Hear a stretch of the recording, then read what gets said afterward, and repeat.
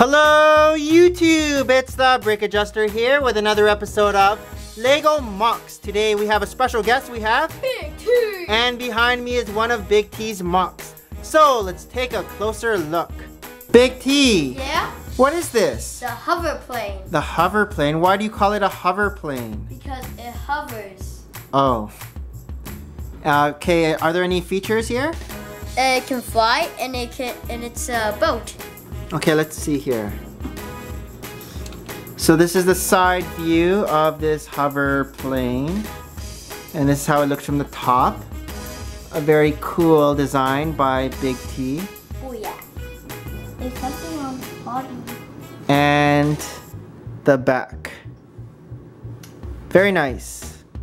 Anything else you want to tell me? There's something on the bottom. Oh. What? This. What's that?